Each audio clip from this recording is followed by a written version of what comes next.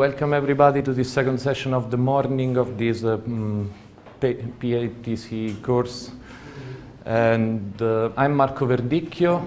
Uh, I'm from SURFsara, and in this section I'm going to give you an introduction to HPC, means high performance computing.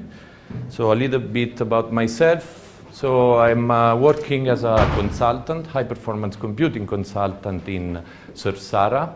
We are based in Amsterdam, uh, in particular in Science Park, that is this beautiful park uh, in the center of Amsterdam and where all, some of the main university, Dutch university are.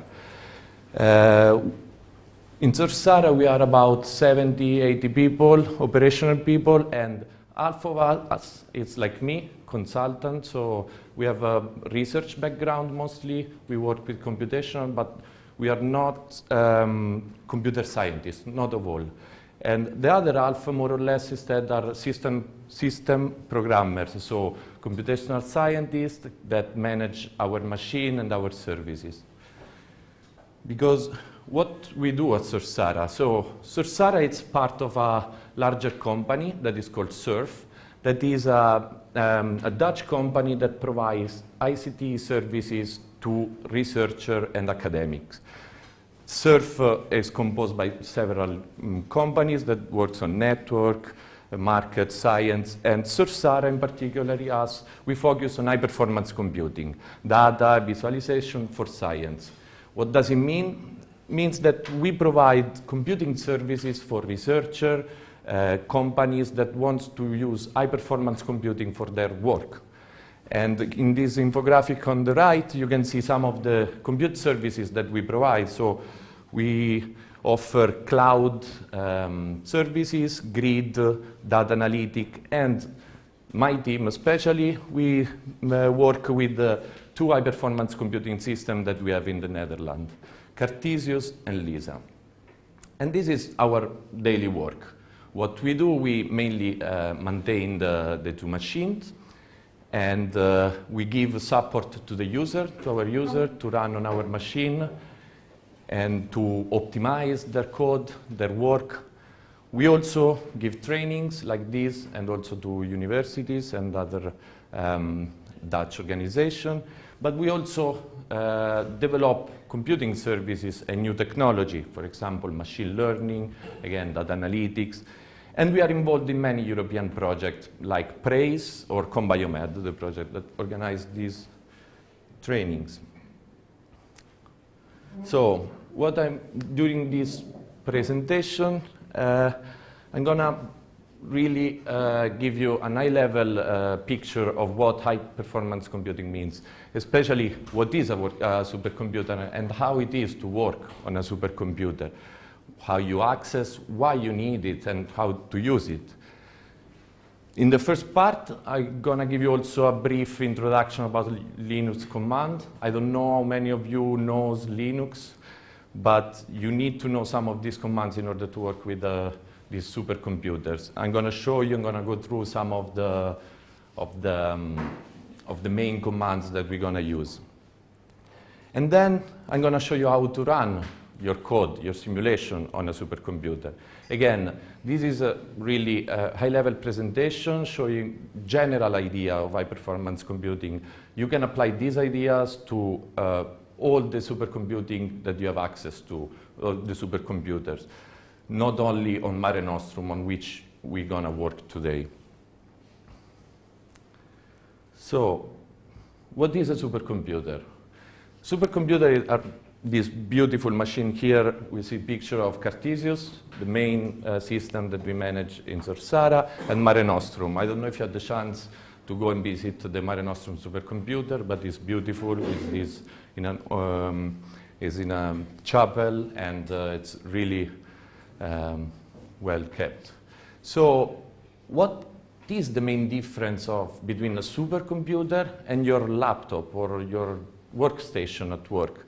Well, first of all, it's a different user experience. Your laptop, it's yours. You have control of the laptop. Here, you're working on a remote machine that is multi-user, so many people connecting and use the same machine as you're doing. As I told you, you need to know a little bit of Linux because uh, pretty much all the supercomputers run a Linux, Unix OS. And uh, the software that is installed on the supercomputer is optimized for the architecture and the topology of the system.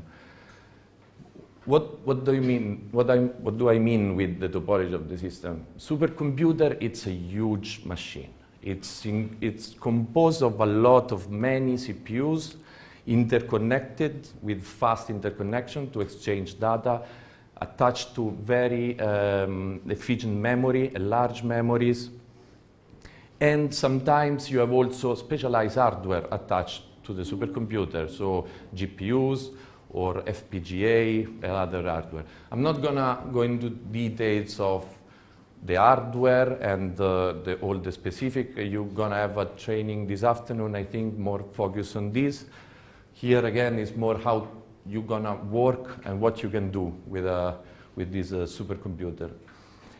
And, uh, and again, it has also a large storage attached. So you have a larger disk, uh, very efficient with backup, um, designed for parallel I.O., for example, efficient uh, parallel I.O., etc. So, as I told you, these computers are large machines that are composed of many cores, many CPUs. This is um, a list taken from the website www.top100.org that lists the top 500 supercomputers in the world. Here you can see the top five, Sunway TaihuLight in China, and you see here it has 10 million cores. So the machine has 10 million CPUs interconnected that you can use part of it or and uh, yeah, you see the top five are all a very high number of uh, cores. These other, and uh, how uh, these computers are ranked. Basically, there is a um, specialized software called LINPACK. It's a library, linear algebra library, that is run over the full system to measure how many operation, floating point operation per second the computer can achieve. And this is an indication of the power of the computer and the supercomputer. And here you can see the Rmax. This is the peak of this uh, number of operation per second that the computer can do, achieved through this LINPACK. And you have also R peak, that is the theoretical peak, the theoretical capacity of the, of the system. And uh, yeah, you can see that the order of measure of this is teraflop, so a large number of floating point operation per second. So what's the difference between Rmax and Rpeak? So R peak is the actual theoretical peak. So you can measure, I'm not explaining here how, you can measure the number of floating point operations that that actual CPU or system can do. Of course, this is theoretical because you always have some connection, delay, latency, etc. So the R peak is the theoretical, the R max is the one that is measured by running this LINPACK library unit the speed of uh, clock uh, relevant? Clock speed? Yes, yes. Yeah, there are a, lot of things. Also, the architecture of the core itself can change the number of operations that can be run per second. So, yeah, this is, okay, it's an indicative number that gives you the idea. It's to rank this computer is widely accepted and used. But that doesn't mean that this is the best supercomputer for your application. It depends from a lot of things. And we will see that a supercomputer is composed not only by CPU, but a lot of other uh, really important piece of hardware that we need to take into account when we work with a supercomputer. So one question, why I need or when I need a supercomputer? Well, if you do uh, computational research or uh, you're involved in some um, work with software, you may want to scale up from your local machine where you're working now or from the local cluster. Uh, what do I mean uh, with the scale up? Well, maybe using like faster CPU, like you say, like higher clock, or more uh, newer, better hardware architecture, you may want to use larger memories. Maybe your computer is not big enough to store your data and to analyze all your data. Or in some cases, you may want to use GPUs or other specialized hardware for, for example, machine learning or other, um, other type of work. But this is not the only reason. You don't go to a supercomputer simply because you want a more powerful computer. You may want also to scale out. What does it mean to scale out? It means that you're not actually looking for more power in the single chip, but you're looking for a lot of cores, a lot of CPUs that can work together and can speed up your simulation. And usually there are two approaches to this. You may have a, a parallel application. That's an application that runs as a single application over a lot of CPUs and these um, can share data, communicate between each other, and work together to speed up the simulation. So for example, imagine uh, domain decomposition. You can decompose the domain of your problem and uh, divide the calculation on these uh, subdomain different CPUs. Then, then um, communicate to each other to collect back all the, the, the information at the end. Or another approach is you have a lot of, a lot of small or medium jobs that if you run sequentially, that means one after the other, is going to take forever. So you want to have a lot of computing elements that are working at the same time on different, on different jobs. This can be done by, for, for, example, parameter sweep or Monte Carlo simulation or this kind of uh, simulation when the process, they don't actually need to talk to each other all the time because every calculation is independent from the other, but you need a lot of them. Okay, so now we got an idea why uh, when you need a supercomputer, uh, how it is working on a supercomputer. Unfortunately for you, it's not anymore like this. These vintage pictures were beautiful, but working on a supercomputer now is not like this. We are not sitting there next to the machine. Working on a supercomputer nowadays is more like this. I'm sorry for you, you spend a lot of time in front of these things that is called terminal. So, as I said, the, the, the, supercomputer is in fact a remote machine. So what does it mean? That you're not sitting next or you are not actually typing on the machine, but you're connecting, you are the user here, through a specific protocol or mechanism tool to the machine as a wall. Imagine this right part of the picture is the full supercomputer. So you see this through your terminal. In reality, behind the scene, there are a lot of components. You are actually connecting to a machine that is called login node, and this is the machine where you actually are when you enter the supercomputer. You submit your job to another part of the supercomputer that is called batch scheduler that interact with the resources, etc., etc. So there are different components, and I want to give, I want to go through these quickly now with you to have an idea of what um, what they are. So as I said, the login nodes are uh, computing elements, so nodes, the actual node with many cores too, where you log in. You're actually not supposed to use these uh, nodes for uh, um, running your application, but it's more for editing and transferring file, compiling small programs, or prepare the input of your simulation. Since this is a remote machine, all the data you're going to use, all the input file need to be transferred to the remote machine. And you can transfer to the login node. Once on the login node, as I said, you submit your simulation, and I'm going to show you later how you do set up and prepare your, um, your job, to a batch scheduler. A batch scheduler is a software that is installed on the machine that is aware of the architecture, the resources behind the scene, so the, the CPUs, the hardware, etc., and uh, basically provides for you the part of the resources that you need and uh, is also um, queuing your job. What does it mean, queuing?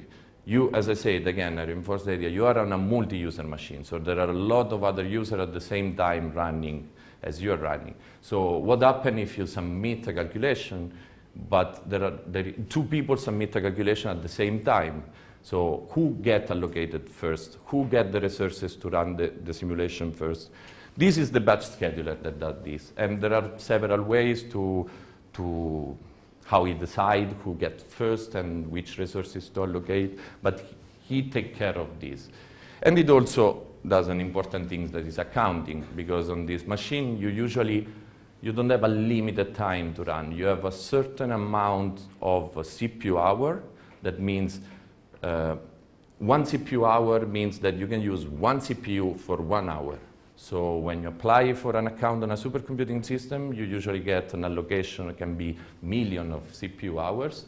And depending on how you use it, you need to consume all these hours uh, by the end of the project. And the batch scheduler take into account this. So every time you run, you run for one day on a CPU, he detracts 24 CPU hours from your, uh, from your um, account. And then uh, there is the, the the main part of the supercomputer, the hardware that does the calculation, that is the compute nodes. So these are similar to the login nodes, but are reserved for your simulation. So it's where you run the, the, the um, your software. You don't access directly the compute node. You can access, and we will see how a little bit later, when it gets allocated to you. And uh, and then it's where you run your simulation. So our multi-core, usually large memories, and because of the concept that I explained you before about the, the parallel application that needs to communicate between each other, these nodes have high speed interconnection between each other. So really low latency and very fast connection that lets you let the two compute node communicate to each other efficiently. And then File systems, we have, as I said, like large hard disk, uh, very fast, efficient for parallel I.O.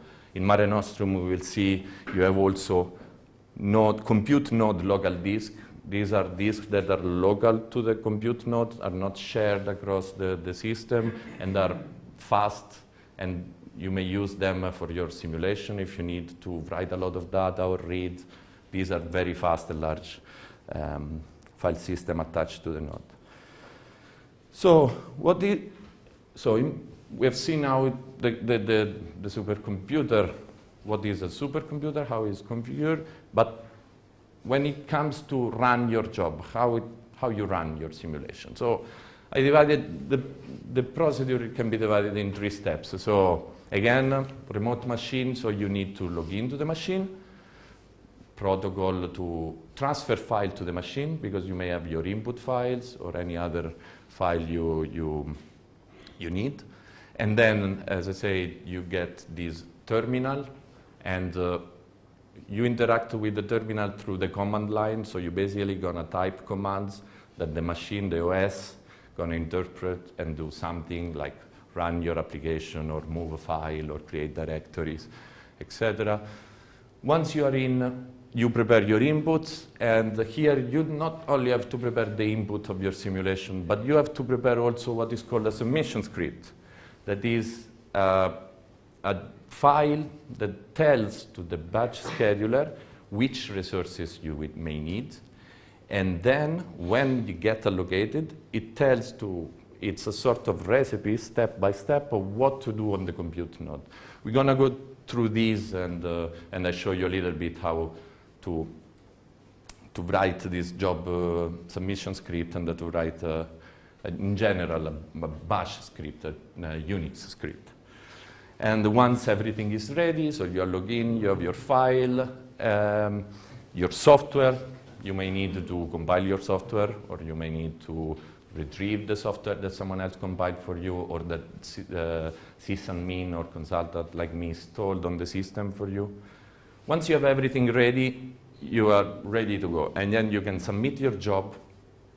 So again, you submit to the batch system that then is going to allocate the resources and run their, uh, your simulation. You can monitor the job. These simulation or um, these jobs, they usually take times. So, and on top of the running time, you have also the queue time, the time that you are in the queue waiting for the resources to be available. You can monitor these uh, from, from the login node, from using the, the batch scheduler. And then finally, you can retrieve your output. So once the calculation is done, your, the produced output is going to be on the supercomputer.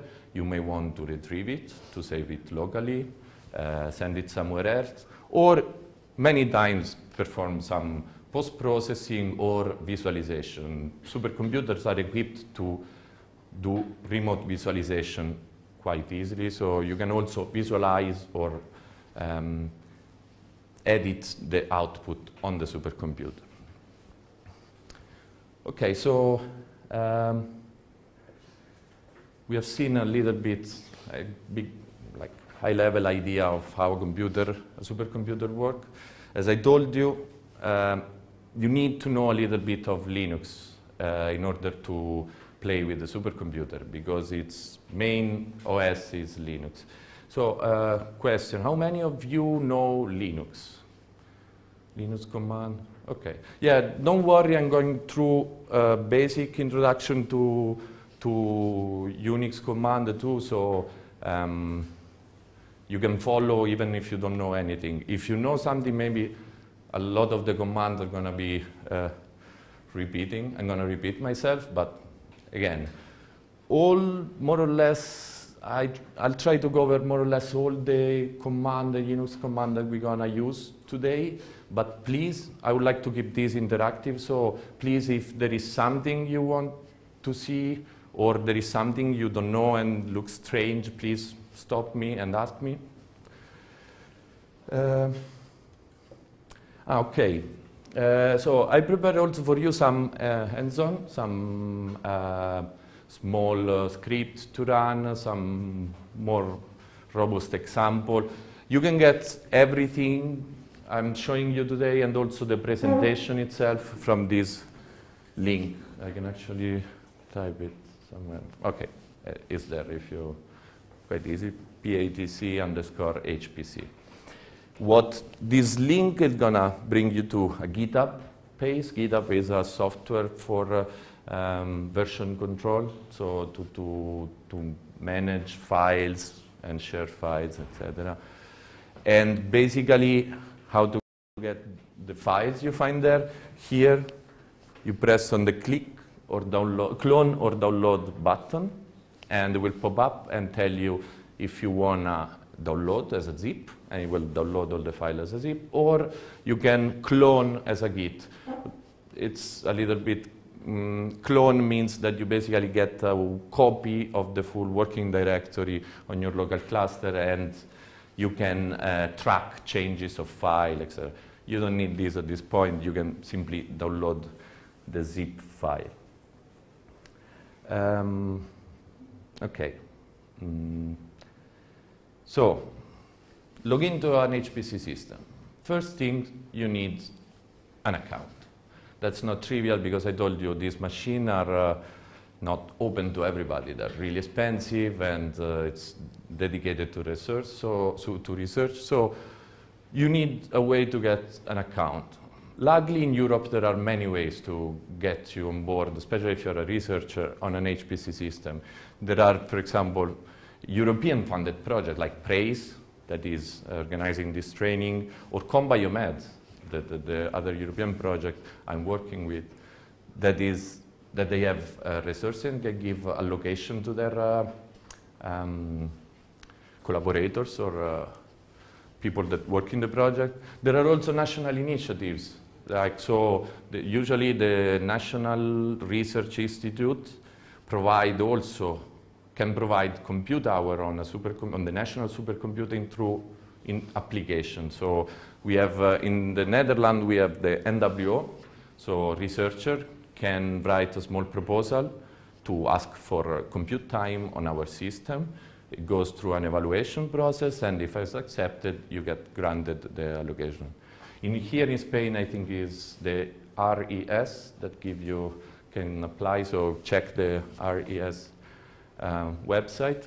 Sometimes your university may have a special agreement with a computing center, like in, in the Netherlands, we have uh, several universities that have uh, uh, mm, preferred access, so basically they get allocated, they get allocation easily for students and researchers of the university. And in any case, the best thing to do when you would like to run on a supercomputer is to contact the support team. So like me in Amsterdam, here at BSC, there are people working maintaining the machine and consultants that work to help users, and then can help you and guide through the procedure of application. Again, you have to, usually you have to write a proposal explaining why you need the supercomputer, uh, what you're going to do with the supercomputer and for how long, etc. So, but practically, what do you need to log into an HPC system? Well, as I, again, you need some Unix tools. So uh, I show you the terminal, for example. You need a terminal emulator installed on your machine in order to be able to talk with the terminal on the supercomputer. You may need a graphical tool that lets you um, visualize things remotely. Log, you see the, the image and the, um, all the visual locally in your machine, but the image and all the things are actually generated remotely on the, on the supercomputer. And many other tools, like tools for uh, file transfer, for example, etc.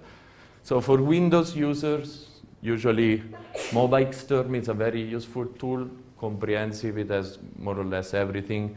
Or PuTTY, it's a small, smaller tool for um, um, only SSH, so only to connect to the system. macOS user, they have a terminal is pre-installed, so that's okay.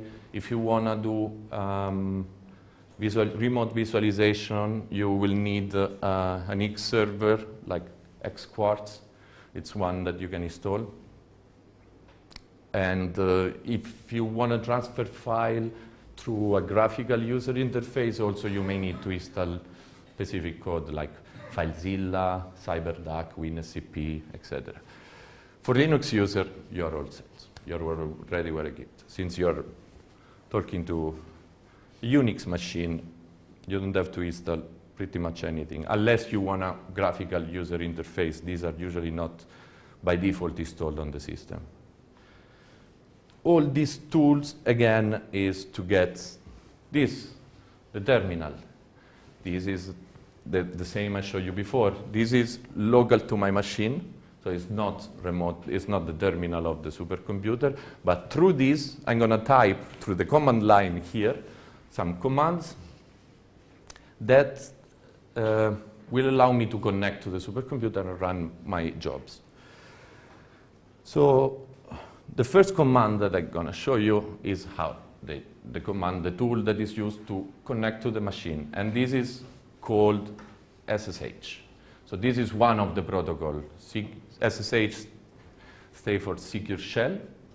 The shell is actually uh, a part of the OS uh, that gets the command from the command line, really high level, and pass this command to the, the kernel, to the OS, that then execute this. So Secure Shell, this tool that is installed on your, uh, on your machine, is, uh, lets you establish a secure connection to the machine because again, it's a remote machine somewhere else. You need to be sure that your connection is secure, otherwise you may have um, man in the middle or some other attack that can intercept your connection. So Secure Shell is uh, secure.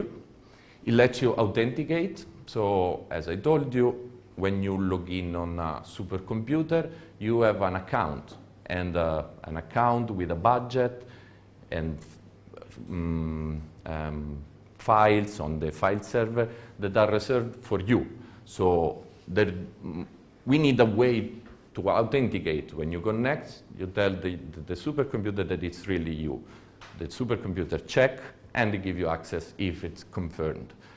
And finally, the main part of the shell of the SSH. You, you can pass command. So you type command locally on your machine, on your keyboard, and these commands are sent to the, to the supercomputer that then execute. So how you connect. fir first command. Here it is, uh, here it's a screenshot. Actually, you can copy and paste this test. So even later, if you want to try everything I'm saying, once you have the presentation, you can always repeat. So this is the screenshot of the command line.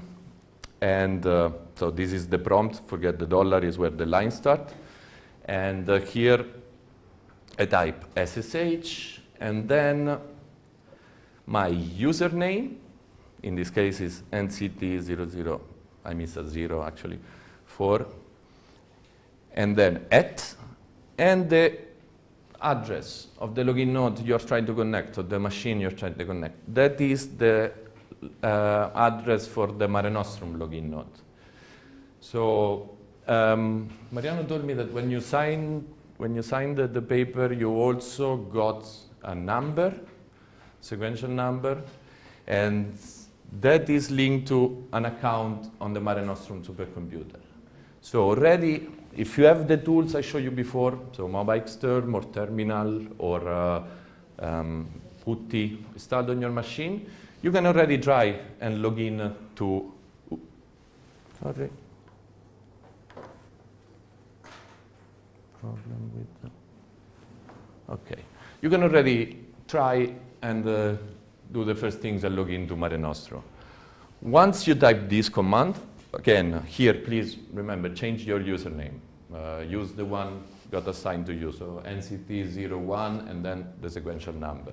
The password is, so after you type the command, the prompt is going to ask you for a password. You will see this password and empty.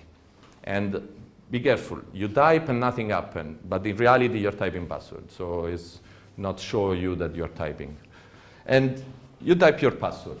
That is hpc-eeab dot and the sequential number that you got. This is the way how the system authenticates you. So you're saying to the machine, I am NCT0004. In the back, the machine has recorded somewhere that Marco Verdicchio me has this account. And I got the password assigned, like you. And typing the password confirmed my identity. Um, so this, this, is not the only way to authenticate to supercomputer. So this is called symmetric encryption, user password. So you, you use this system, a single password, for uh, authenticate you. There are more sophisticated and uh, useful way of authenticating to an HPC system. This is just for information. You don't need this uh, second way of uh, authenticating, but it's good to know because a lot of time are the only way you can access machine. So this other way is called asymmetric encryption. It works with a system called um, public-private keys. Basically, what does it mean? You really, uh, again, high level, not in the details, but locally on your machine, you generate a couple of keys, unique. So for uh, each private key, there is a unique public key. You first need, for the, the first time, you need to log in to Marenostrum using username and password to authenticate the first time. But once you are in, you copy in a specific way to specific path. Again, if you're curious to see how it works, you can Google uh, uh, SSH key pair or uh, asymmetric encryption. You will find plenty of instruction how to do it. But basically, you're copying the public key to the remote host. So how this work? This work in the way that uh, you can encrypt a message using your public key that you can freely distribute to everybody. Everybody can wants to or needs to authenticate you can have a copy of your public key. That is why it's called public. You don't need. So other people can um, can sign, can uh, encrypt a message using your public key, and uh, you only the owner of the private key, and this should be only you, so you can distribute the public key but not the private key, so only the owner of the private key can decrypt the message. Okay, so in this way you have another authentication factor. So I'm sending you a, a encrypted message. You are the only one that can decrypt. So I know that if you can give, tell me back what was the content of the message, I know that it's you. And this is a way to, to, to authenticate user. It's in this, behind the scene is much more complicated and there are a lot of other factors, but this is high level how you, you can um, log into to a supercomputer, an HPC system. Okay, so we have the tools, we have an account, we have uh, we know how to log in. So let's go. And voila, when you type SSH username at uh, mn1bsc.ls, type your password, you're gonna get something like this. This is the, the, the, the login node. You are logged on a login node. You can see here, login one. And this is the message of the day is called. There's a message that is printed every time you log in. There is already a really important information here. Please read the user guide.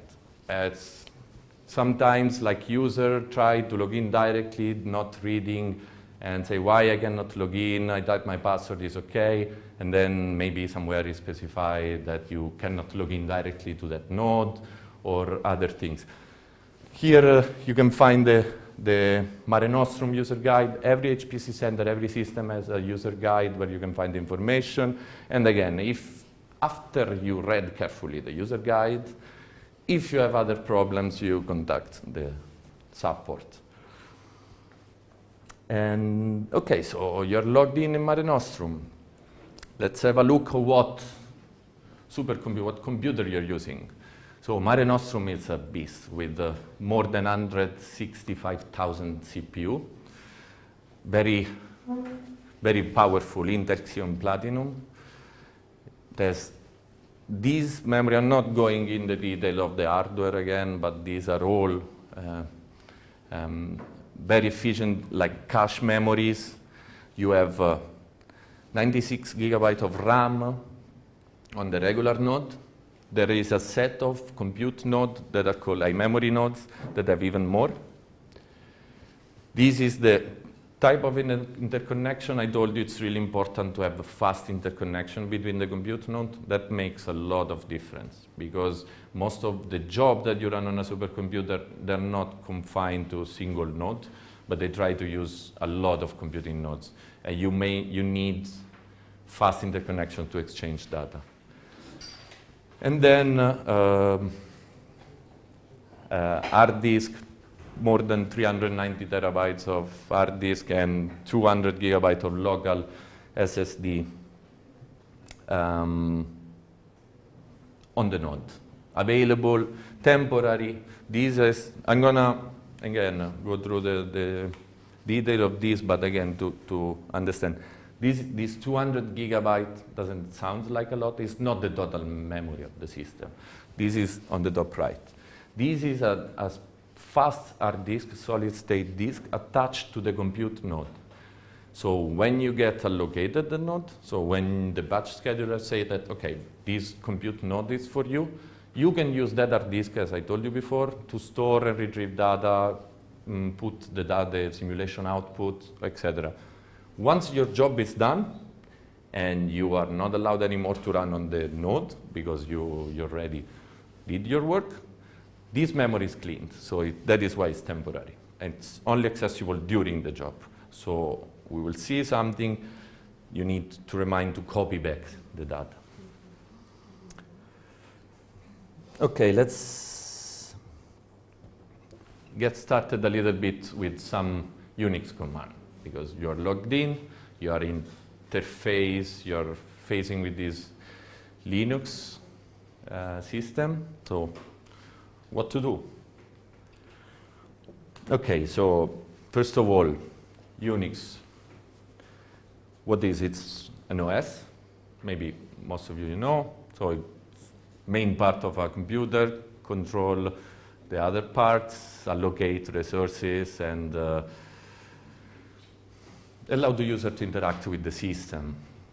It's a multi-user and multitasking OS that is important for a supercomputer. Again, supercomputers are a multi-user system. Um, are, is designed to be machine independent, is very well equipped for software development, and one of the reasons why it's widely used is because it's very works very well with a lot of scientific applications. The structure, how it is, and because most of the scientific applications are designed to run on Linux system. So after successfully, hopefully you successfully log into the system, what you get is this prompt. Uh, it changed a little bit. You remember the one I showed you before? In my local computer, it was simply without these parts. Here was written local. Here now you have some, you have more information. You have your login name, your login, at the host name, which where you are connecting. This is the name assigned to the, the login nodes. So this is convention here. BSC they use login one. In um, SURFsara, it's called int1, etc. But and now here you have the prompt, and this is the command line when you can type your commands. And the system now is ready to accept commands. So you type, like before, SSH, uh, and then you press enter. And that it run the command. Okay, let, let, let's see something. Again, please, if you want to know more of commands or other things to play with, ask me, and that's all. But I'll try to go through this command and then.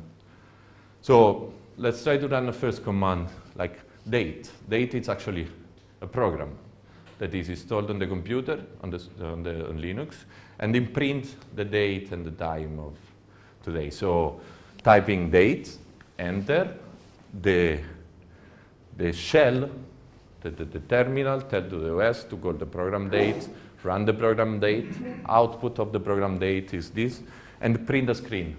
And then gives you back the command line. So you can continue, type other command. So a little bit more.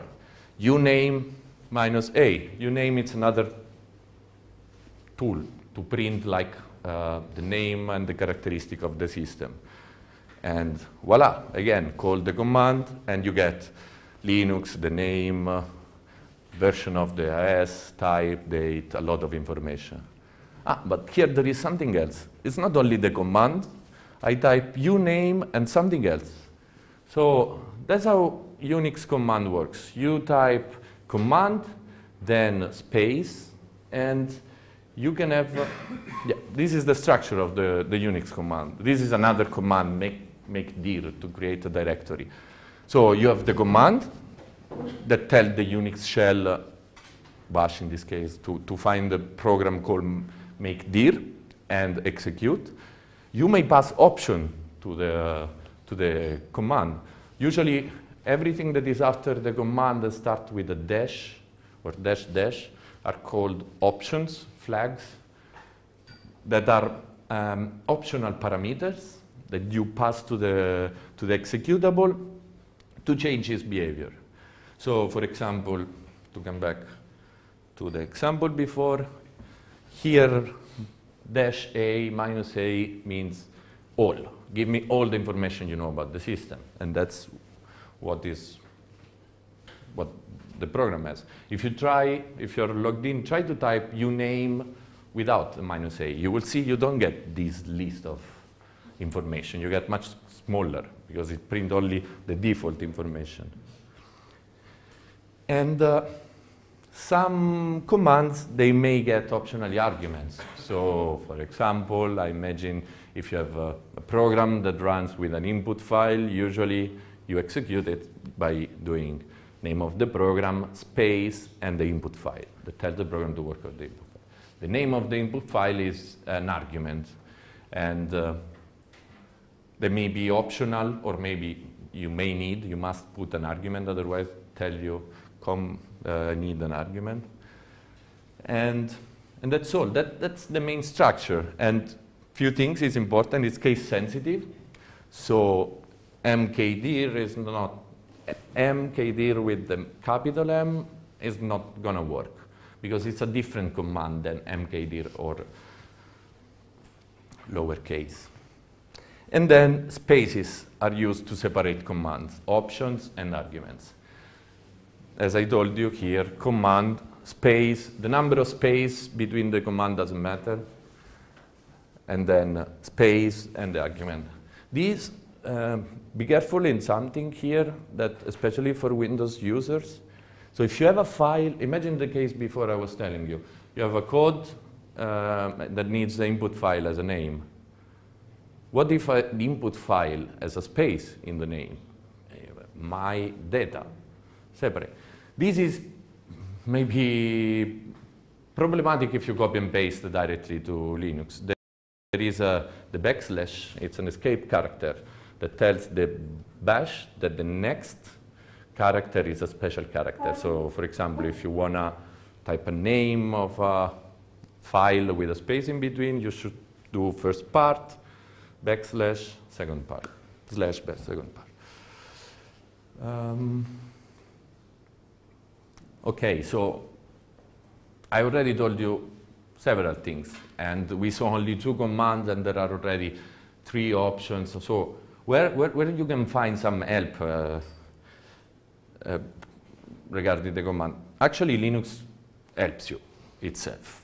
There are ways to know more about the command you're running. So one way, for example, is to use another flag.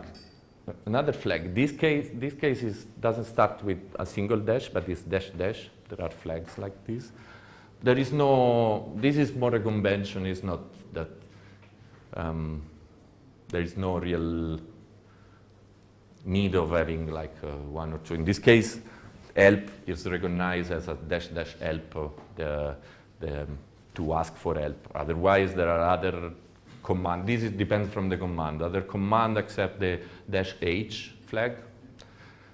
Um, but there is, this is not the only, so if you try, you can try this, and it's going to give you a lot of, some information about you, uname uh, um, command, and also all the flags that the, the command accept.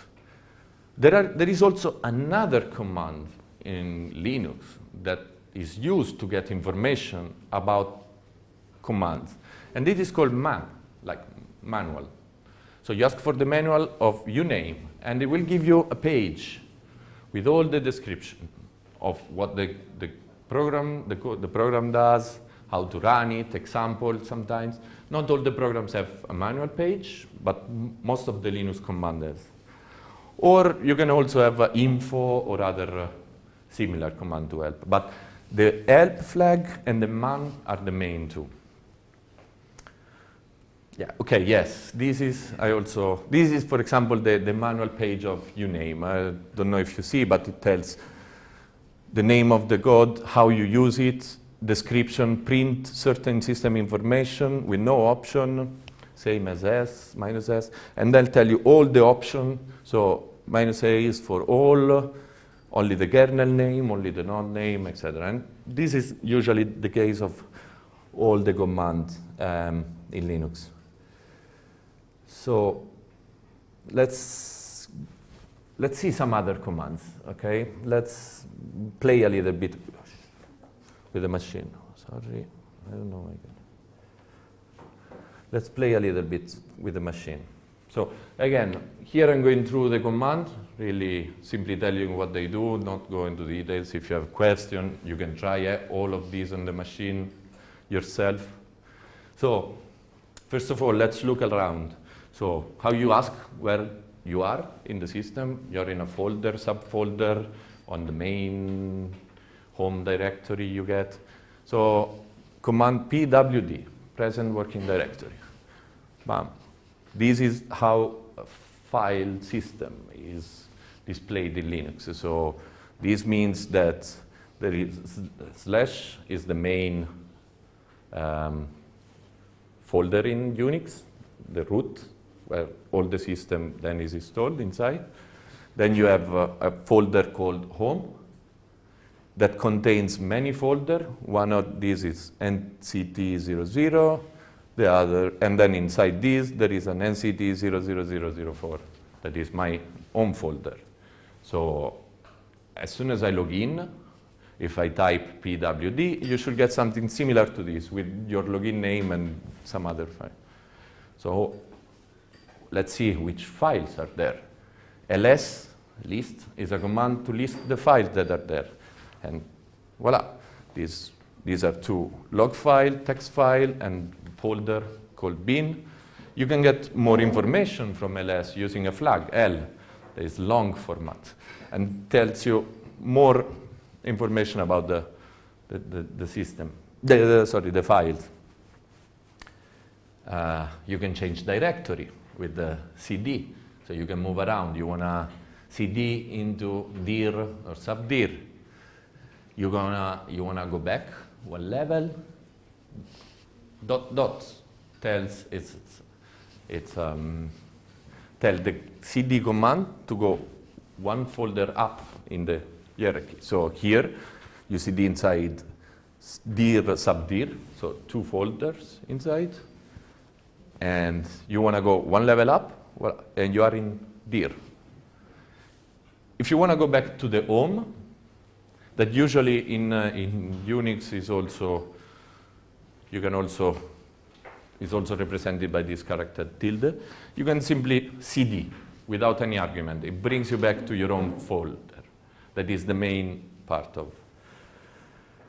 Um, about this, a small addition to this, moving around and looking around, relative path or absolute path. So if you see, like in Unix, you have this hierarchical system in which you have folder inside the folder inside the folder.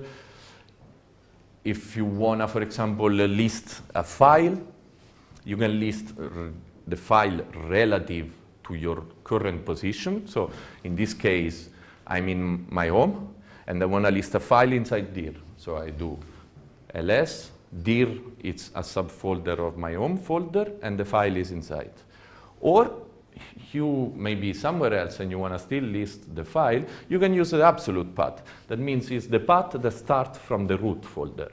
So again, instead of giving the relative path to your position, you give the position of the file relative to the, the, the, root folder. And this is like, like, for example, this. Again, this tilde I told you, so it's basically the path of my home.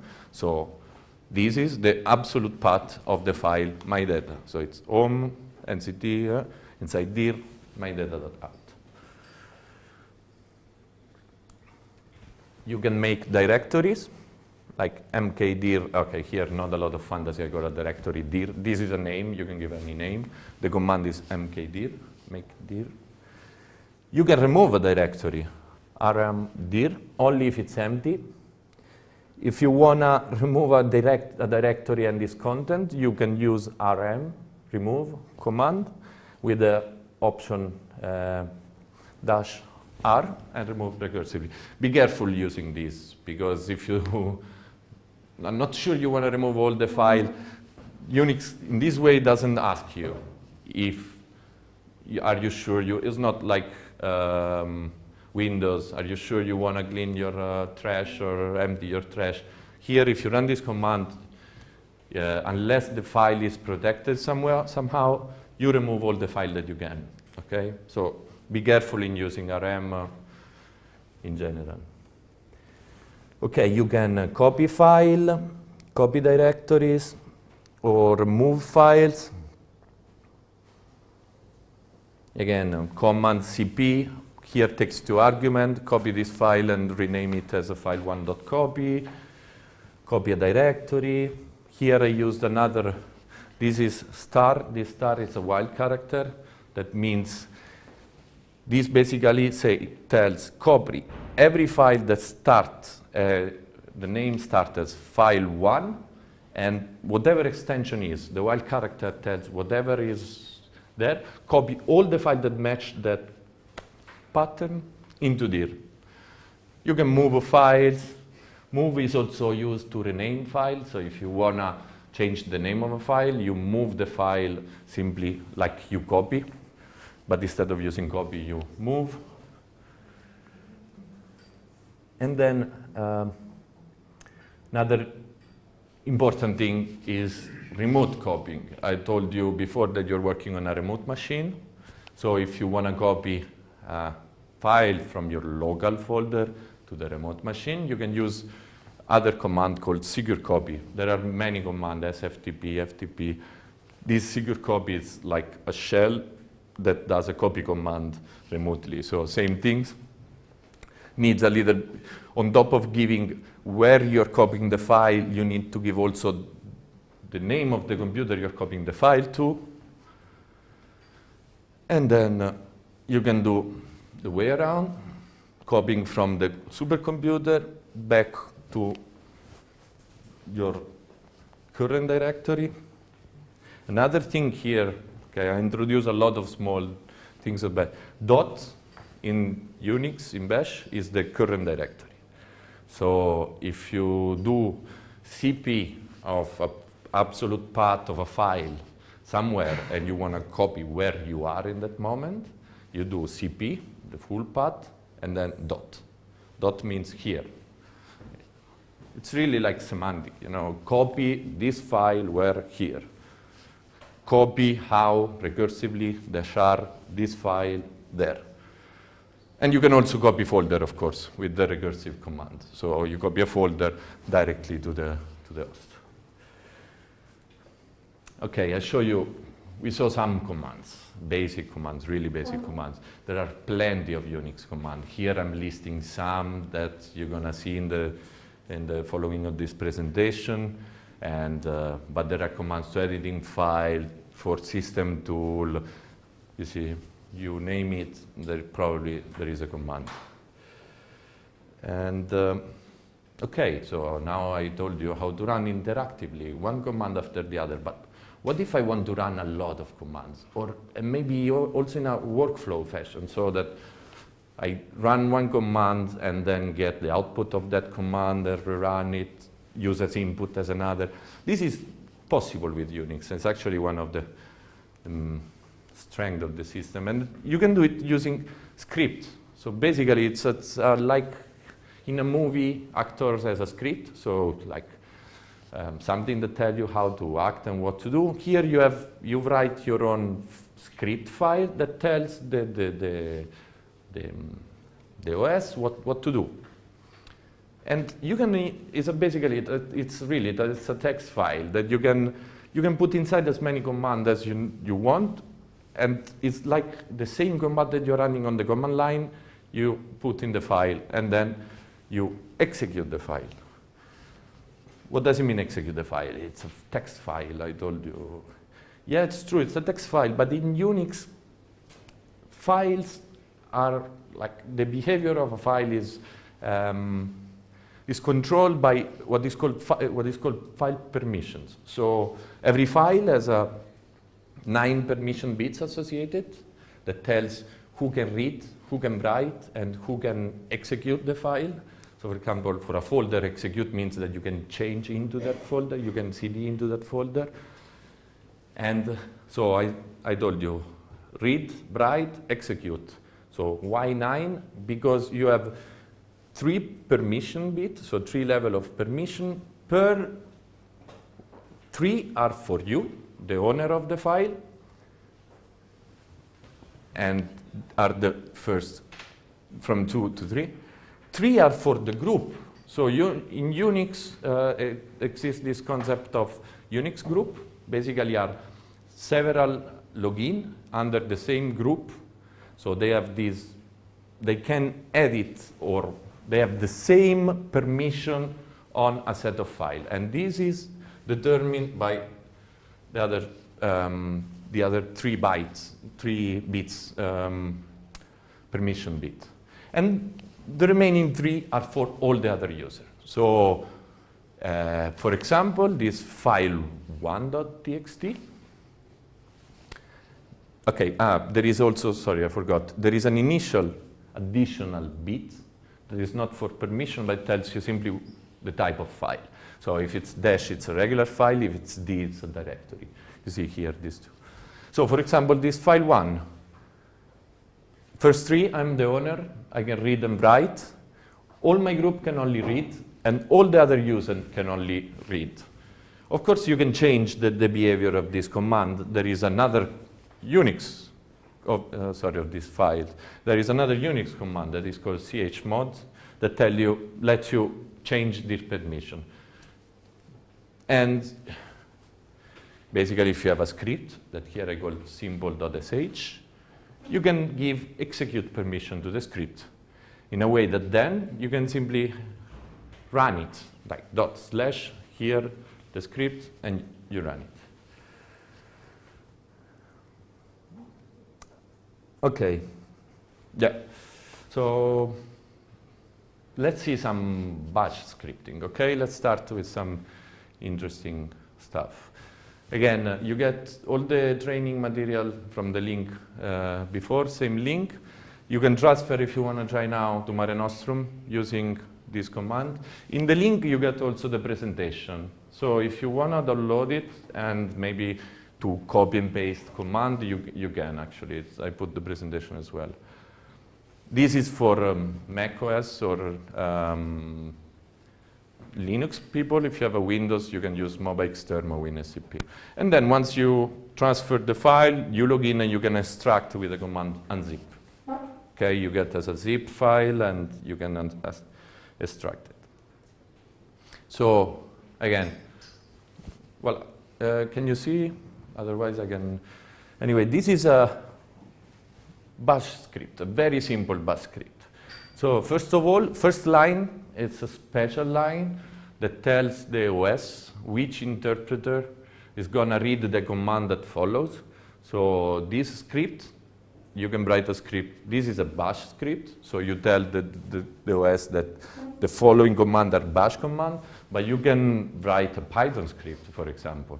And here you will specify some Python paths and following all Python commands, and you will get um, executed. So again, don't, don't focus too much on each command that is here. You can always man and the name of command.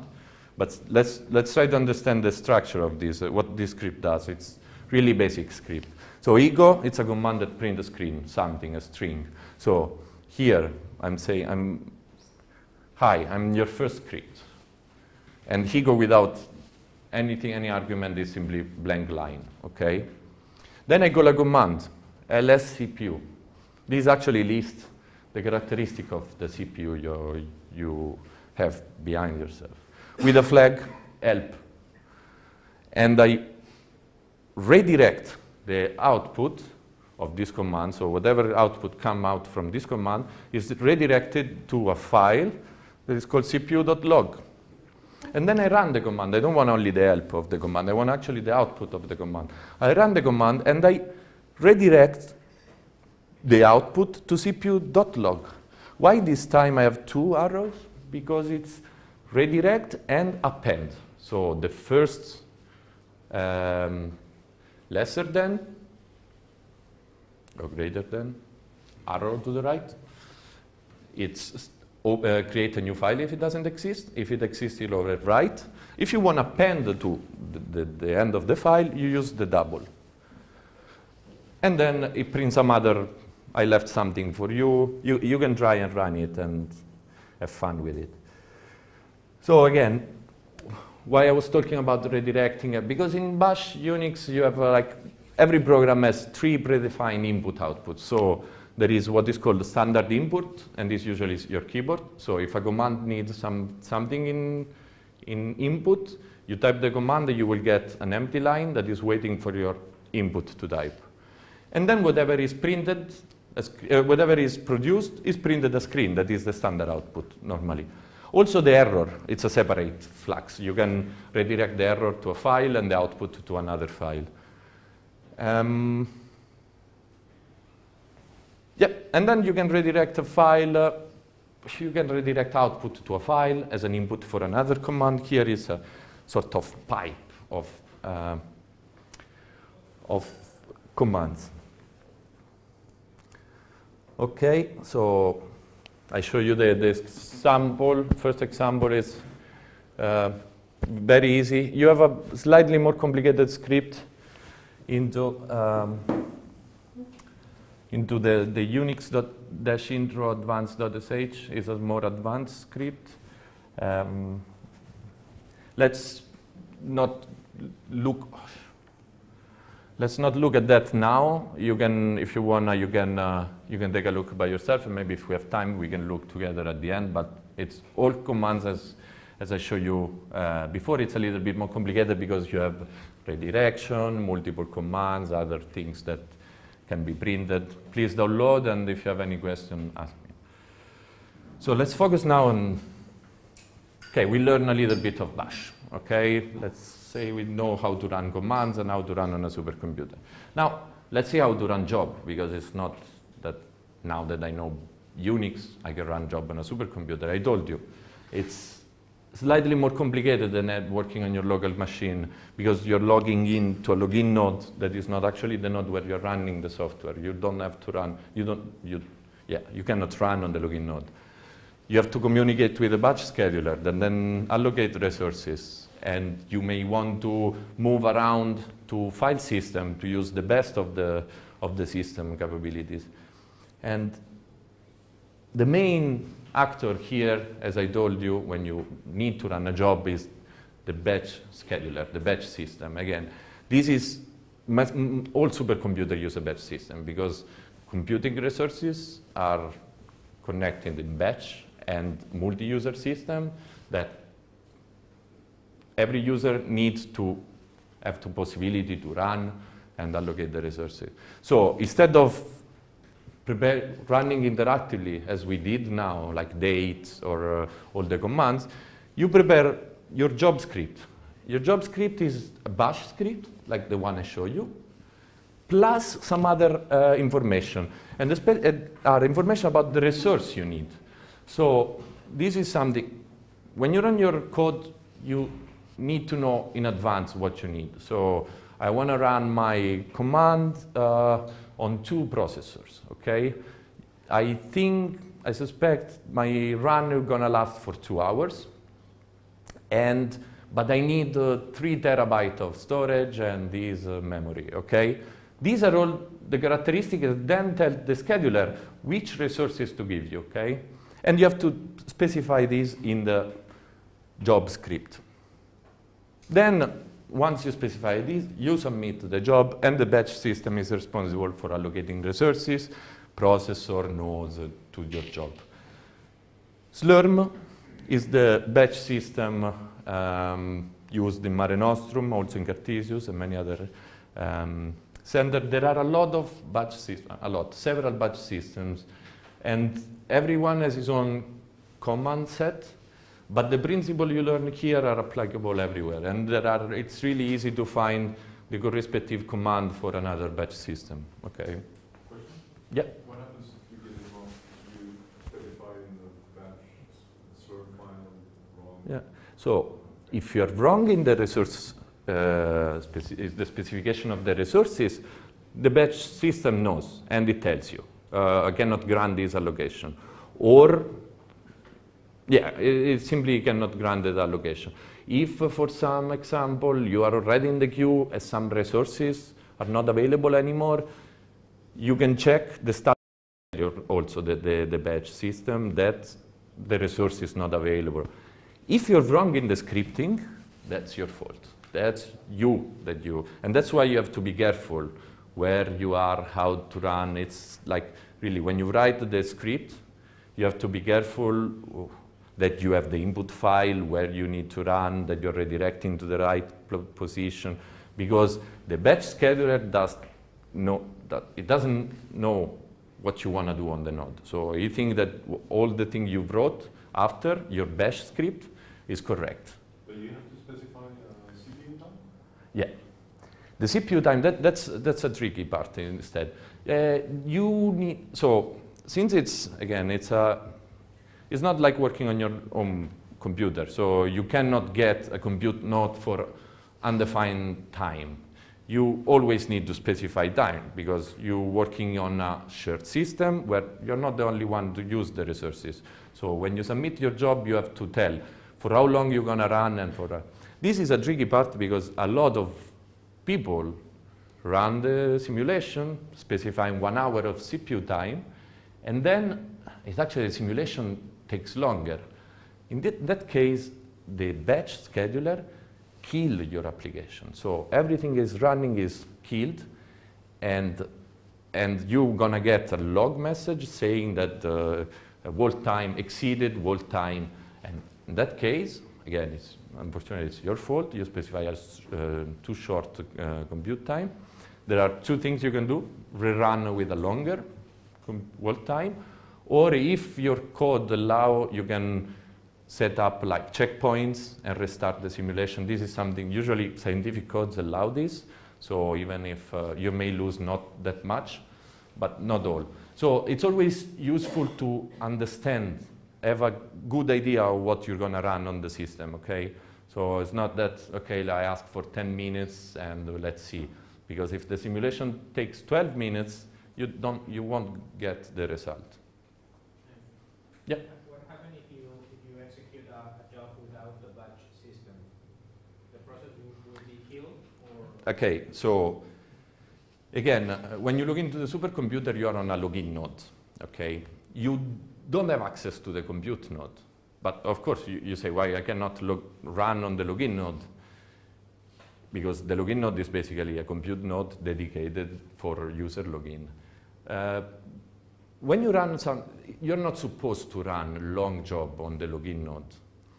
Uh, when you run, when you try, there are several things like HPC Center usually put like um, limit. So if you use uh, more than one processor on the login node for more than 30 minutes, the job is killed or uh, other things. So without the batch system, you cannot run on the compute node because you cannot really access the compute node. You can run only on the login, but you're not supposed to. And usually there are measures to, to not allow you to run there.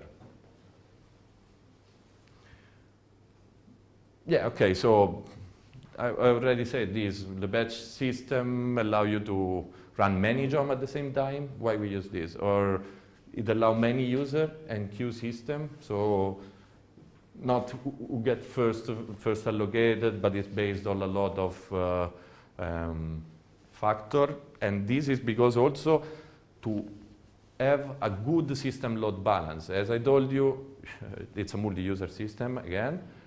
Uh, you may get like imagine I'm a heavy user and I'm using half of the of the of all the system, okay? And then you arrive and you want the full system. And then after you, another user, it wants only one compute node for a small amount of time. Why not let this user first, before you, that you're still waiting me for ending my calculation on half of the system, let run before you, and when it's over, you, so that all these movement to get a good load balance and a good like occupancy of the system are managed by the, the batch scheduler. And that's why it's there also. Um, yeah, uh, when you run, there are like, in the system there are many other things like uh, to take into account. There are queues. Queues are basically um, portion of the system that are, or like specific like queue for uh, user that have a specific purpose. For example, for this training, we got um, a reservation of 768 cores. Okay, that's for us for this training. Only user from this training can access that, and that is displayed as a queue. So basically, when you run your simulation, you tell the batch scheduler, I want to run in this queue. So not, don't put me in the line with all the other users because I have preferred access. Or I want to do simply debug. So debug has a maximal time of two hours. And uh, so why, there are specific queue to, to manage like load balance, etc. okay? And uh, okay, so how to submit a job script? Here it is. There are commands slurm has commands. Every batch scheduler has its own command to submit job to the queue system. So you will have batch and the job script. It will submit your job script to the queue system. squeue, it will show you, it will show all the job you, are, you have in the queue. scancel to remove a job. srun is to run a command of all the resources allocated. And then there are, again, uh, guys, here, uh, these are list of some commands. If you go on the website of Slurm, you get many more. If you type man of every of these commands, you get a lot of information. I'm not going into the details of every command. I'm going to show you, hopefully, some, some example at the end. So then there are the directives, the, the, the, the, the information you have to put in the job script to characterize which resources you want to run on, okay? So here are, they, they usually um, appear as a command, like as a comment like this. And you have, uh, you can express the number of nodes, the number of tasks per node, the number of, the, how, how long you want to run for, the queue, and other information, like here is pretty, pretty how many tasks per node, etc., etc. Okay, so now let's try, okay, I'll try to show you something, okay. Well,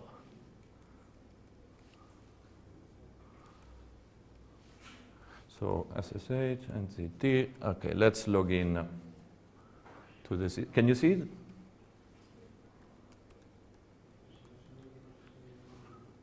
Okay, login, type my password. Wrong password.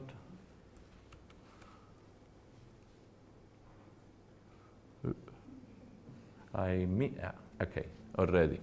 What was wrong? Wrong username. Hopefully.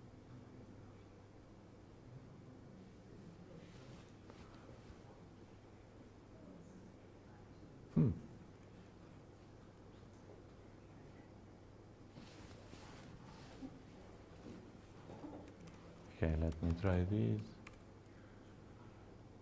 Connection timeout.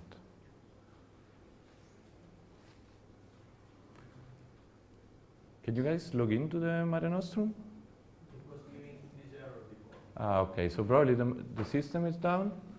No, now it's working, but before we were having that same, at least for me it's working. Okay. It's working, huh?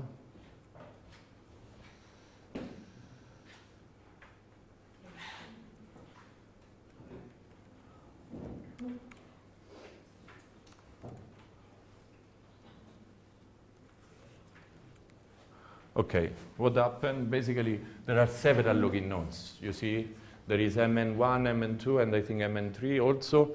So I was trying to connect to MN1, and probably that login node was down because it was connection refused. So I simply changed to another address, MN2, to get the, the, the file done. Okay, so let me copy from somewhere. With the same user, you can also try to, so um, we can also try um, to change the number and put four, for example. Yeah, you can put four, but then you will be asked for my password. No, no, um, MN, you have put MN4 or MN1. No, no, no, it was. Ah, I was using a wrong. Uh, no, I don't understand your question. Sorry. um, The host, and we, and we changed the host number, M, two, now M three. Ah, okay. So the, the MN123 is the, the sysadmin that gives that name to the machine. Is the login name of the, the host name of the machine, okay? These are predefined, and there are three, MN1, MN2, and MN3, okay? You can connect to one of the three. And that is the, the, the name, the host name of the, the computer.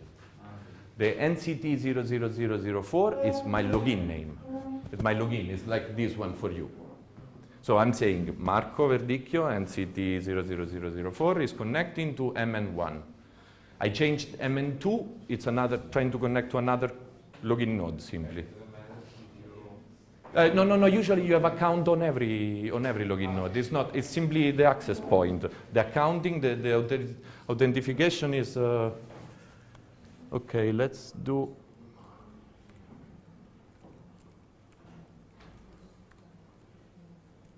Okay, uh, I don't know if you saw. I unzipped the file. I had the file there. The file I, I gave you with all the instruction. So let's see. It has the folder. Unix intro, run jobs, presentation.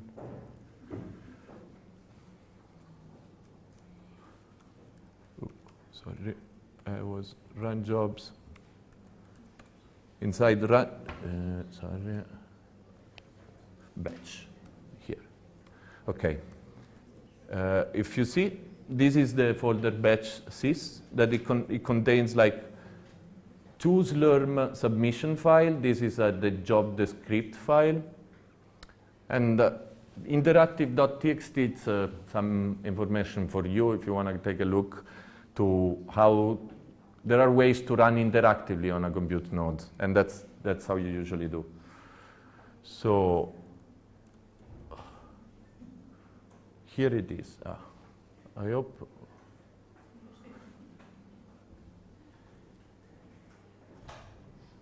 I hope you can see this otherwise. Okay. So this part, as you see, this is the job this script where you specify where uh, how you run your job. So basically this tells the scheduler which type of resources you need. What is the name of your uh, of your um, job?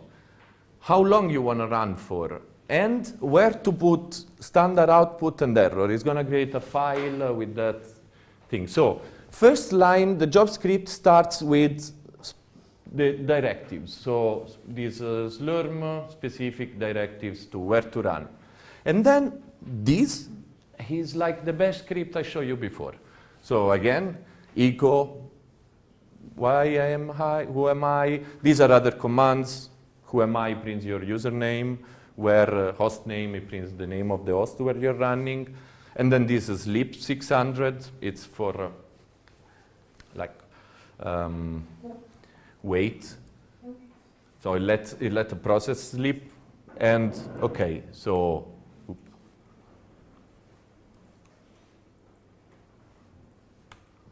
what happened?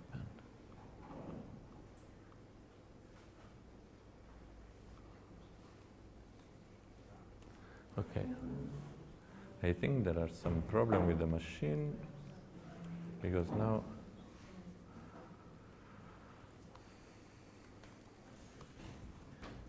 Is there a timeout on, on any one of those nodes where you don't, if you don't use the terminal for a few minutes, it just times out, freezes?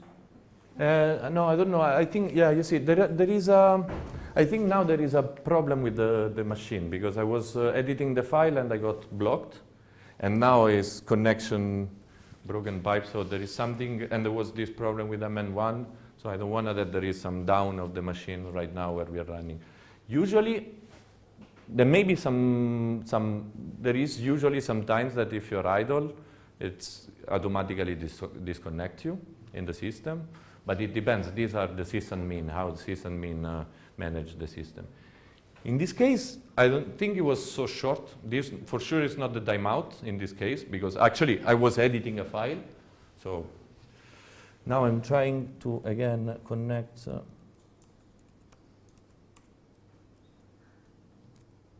oh, okay. That doesn't seem to work even MN2. I don't know if it's my connection or. But in my case, I even had to um, kill the terminal window. I had to kill the window. I, Yeah, yeah. These, when, when you remain appended, if doesn't time out, some, sometimes you, the only thing is Control C. If you type Control C, it's to kill the process, hard kill the process, but sometimes even that doesn't work because you're not connected to the process anymore. But anyway, this stay here, it's how the script is. So I was hoping to.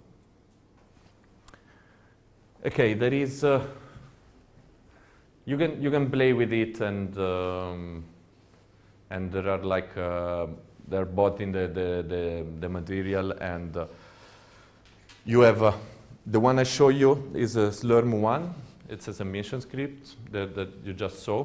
There is another a little bit more sophisticated script. It's really simple too, but it actually asks for multiple nodes and it run a command, uses srun. It's a batch, it's a slurm command that is aware of the resources available behind you and is able to run um, the, the, the command you put after srun on all the resources you, you're gonna use. So in this example, for example, you have srun host name. So we run the command host name to give the name of the host on every node you got allocated. In this case, it's a two node job.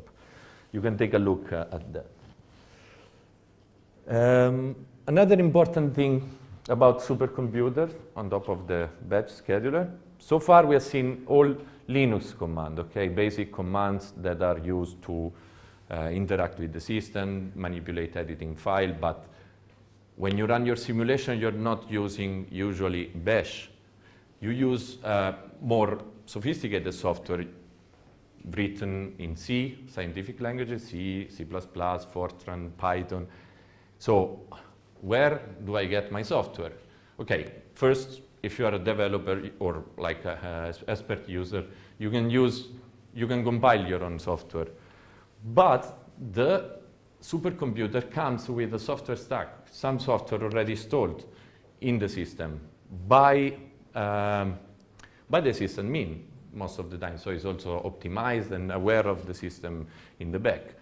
And how user can use this software installed there? Well, this is done through what is called environment modules. So modules is a software, it's a tool in Unix that um, basically when you want to use uh, an application, you load that application, the module of that application. What module does is set up a lot of internal variable and uh, construct that are needed in Unix to run the application so that after you load the module, you are able to use the application like it's installed for you. And uh, in this way, you can get on the system programming languages you may need, compiler, specialized libraries, or scientific code too. How you use this?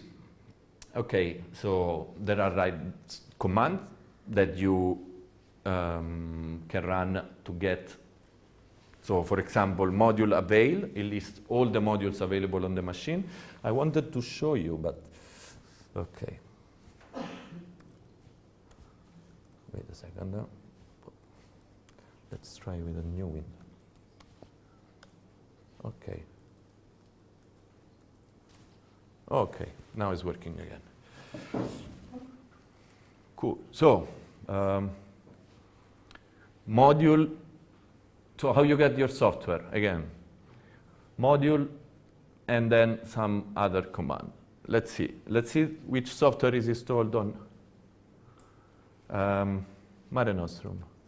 So module avail, and voila. And this is, you see, you may recognize some of the codes you're using, GROMACS, uh, everything. And these are all the codes installed already in the system. There are more compilers, other things, libraries, etc., tools. And that's, so what if I want to use, I don't know, Python? So you have also default. So you see for uh, software, you may have several versions. If you do module, uh, if you want to load the CMake, you can choose a specific version, or if you don't mind, there is a default, and it will load this version. And uh, so let's see. Module load Python. Well, it tells you that it loaded Python 3.6.1 and it's set, again, I told you this, what it does is actually setting a lot of variables and, and stuff behind that lets you run Python. And how I can see that are, so once it's loaded, I can use the command, the Python command, it, the program, and I can type Python, and I have the Python command, you see? Wait, let me. So again, Python. And then I ask for which version of Python I'm running. This is one of the flags that I was showing you before. And this 3.6.1, the one I loaded. So now I don't want anymore this version of Python. I can unload Python, and I want another version of Python, maybe 2.7.13 that was installed. Loaded again, this time, if I run which version, I have loaded a different version of Python. That is what modules allowed you to do. So you have many versions of the software installed on the system, and you can load and unload and use the one that fits more your work, okay? This is the concept. Then there are a lot of other uh, commands you can, you can run. You can check which version of a specific package are available. You can list the module that you are installed. There are a spider for look for modules, a lot. Again, man module or module dash dash help or Google are your best friends when you have a new command. This is lmod is the version that uh, is used in um, in uh, Marenostrum. Okay, yes, I already showed you this. I forgot I had uh, printed module lists, which Python. You can ask which Python is installed, load Python, with which it's another command that tells you which executable you are actually calling when you run Python. And this is the full path of the Python executable. And you get the, the full software stack. These are the one module avail. Okay, so we saw the batch scheduler. We saw the software stack, so more or less you, and bash scripting, so you should have more or less everything to be able to run on a HPC system.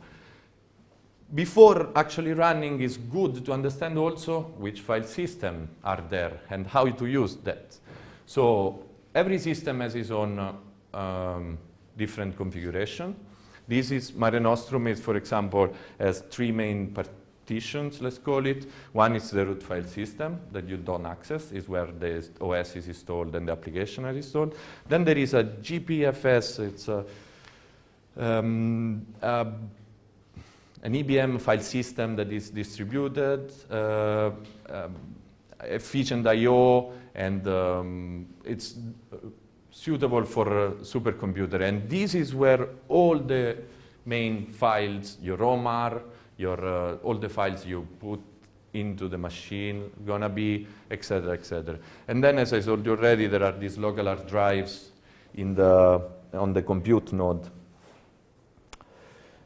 As I told you, the main file system is this uh, GPFS that is actually divided in different uh, parts. You have uh, the apps folder that contains all the application, and then this is is there. You can list the applications that are listed to get an idea, but you should not, you, you should not get have access to that folder. And then you have home, project, and scratch file system. These are different, are all on the same GPFS system, but are different are for different purpose. So home, I already told you about home, is where you log in, where you have your file when you log in immediately. Project is a specific uh, folder designed in Marenostrum to host file that you can share with other people. So project has a group folder. So you have uh, your user, as I told you before, is part of a Unix group. In, when you have an account in Marenostrum, you get also your group get a folder in this project file system. And uh, you can put there files that you want to share with other people because other people in your Unix group has access to this folder. And it's a way to share file or to have like same software working on the same file and like, like that. It's intended to store data that needs to be shared. And then there is Scratch. Scratch is useful for you when you run your simulation. It's a file system that is um, uh, distributed over all system. You can see it from the login node from the compute node, and is where you should put the temporary file that your code is generating, okay? And, um, and it's not, Begatten is usually cleaned um, regularly, so it's not meant for long-term storage. It's only for temporary files. It's maybe you have, uh, your code needs a lot of parallel I.O. or really, so that is the folder. Um, okay, um, again, uh, there are uh, several inputs, several um, examples that I prepared already. If I can get. Okay, uh, I, I think there are like, I don't know if it's this connection, because maybe the connection here is not excellent and it drops and then it freezes. This, for example, you saw I left this open and it's still there. Uh, okay, so yeah, I, I think that the login will stay for the rest of the of the um, of the training even more. I I don't know how long. You, so if you want to play with this, you can keep playing. It's not only for two days. Three days. Three days, okay. Um, okay. Again, I have uh, other. Uh,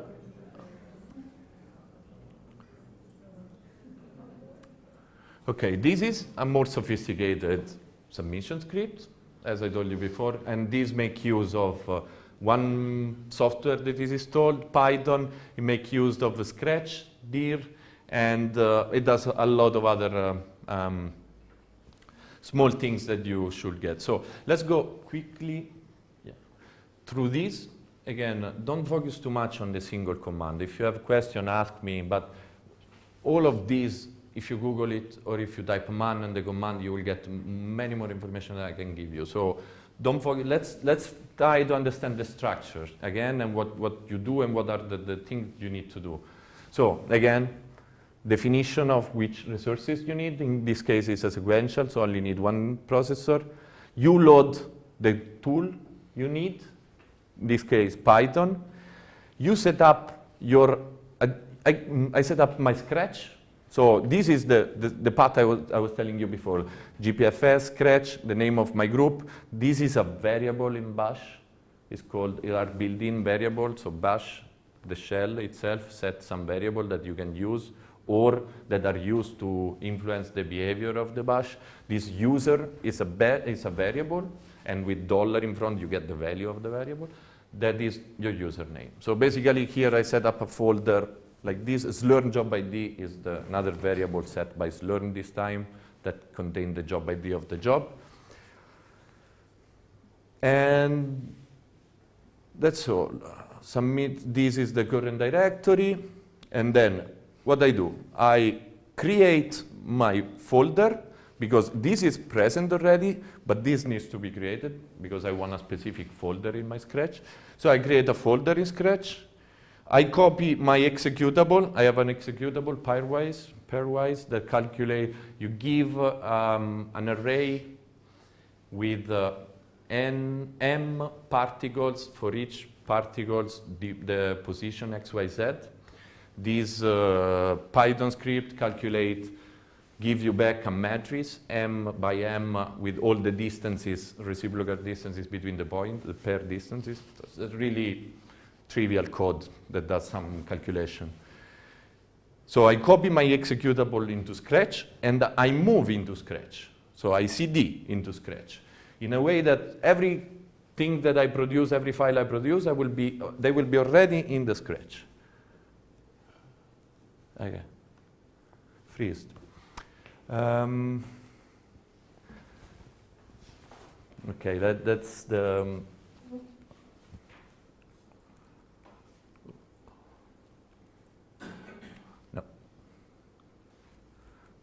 Okay. I've already sent two emails to the, to the helpline. Oh, thank you. Yeah, thank you. But again, uh, okay. Uh, one second, I'm trying to get the same script uh, from my local computer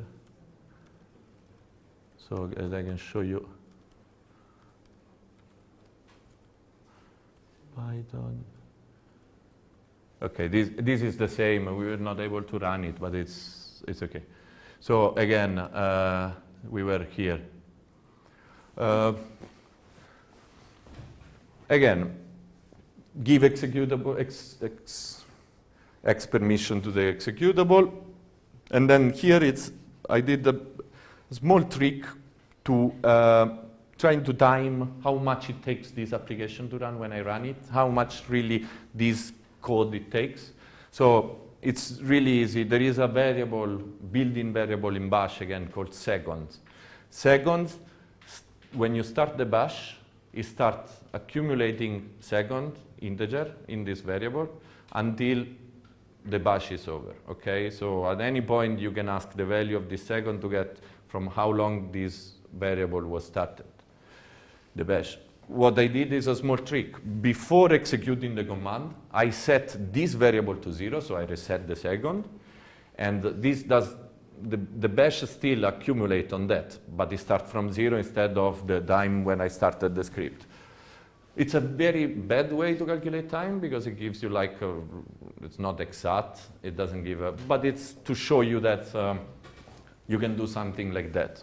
So you get to zero, at the end of, after the, after the execution, you get the value and record it to time, copy back results to your final folder and print some other running time, the print, the, the, the time it ran, and uh, echo.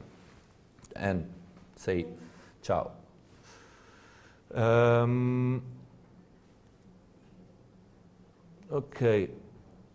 Uh, let me, I have a good, still 10 minutes. I wanted another thing. Uh, I wanted to show you.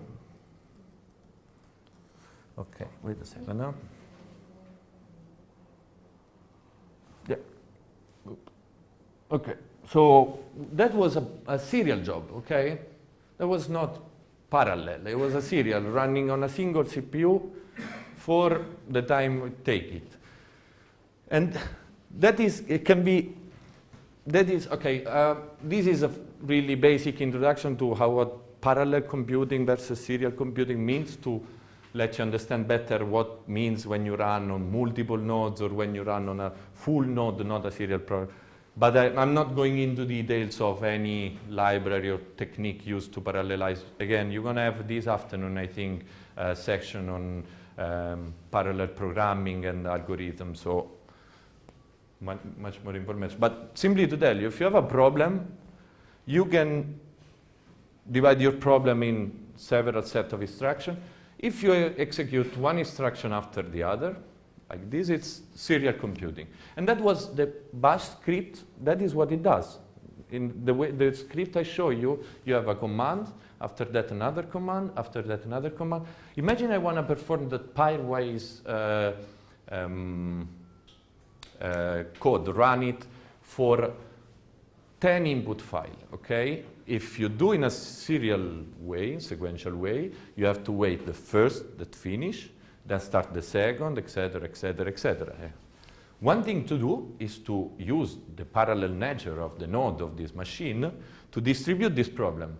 So again, you have a single problem, you divide in instructions, each instruction is independent from the other, so why not one CPU start the first instruction, and in the meantime, you can use other CPUs to start the other instructions, okay? So that's, these ideally will uh, speed up your calculation proportionally to the number of uh, CPU that you can use.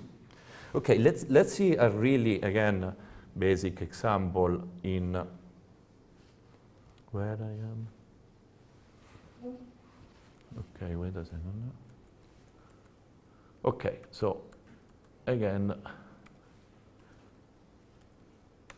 this is, okay, again, I, I prepared for you a submission script.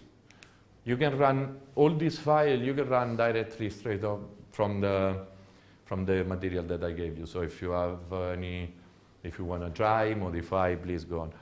Because this is the same as before, same input file. The only thing I changed it was dim here, before it was 500, I think. It was is the input file. And there was only one value of input file. So I was performing that pairwise on a uh, vector of particle that was only 500 particles, okay? And I wanted that calculation, that's all. In this case, I want to do 1 on over 1,000, another calculation for 2,000, another calculation for 3,000, 4,000, 5,000. So, and you see, the, the problem gets even bigger. So if I do sequentially, I will wait all day.